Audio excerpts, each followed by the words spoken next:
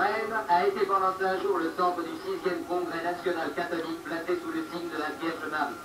C'est en présence de son éminence le cardinal Guénard, de Monseigneur Roncalli, nonce apostolique, et de son éminence le cardinal Roch, archevêque de Rennes, que devaient se dérouler après les journées d'études les grandes solennités qui marquaient la fin du congrès.